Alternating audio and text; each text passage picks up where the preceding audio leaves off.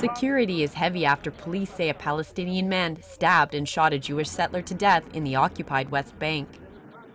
According to Israel, the Tuesday attack is the first of its kind since 2011, when two settlers and three of their children were killed in their home. The assault took place at a bus station near the Palestinian city of Nablus.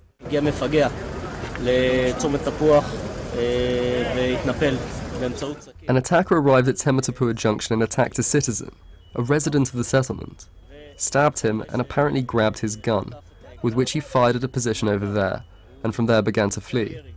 Two border policemen who were positioned there opened fire towards the attacker and hit him.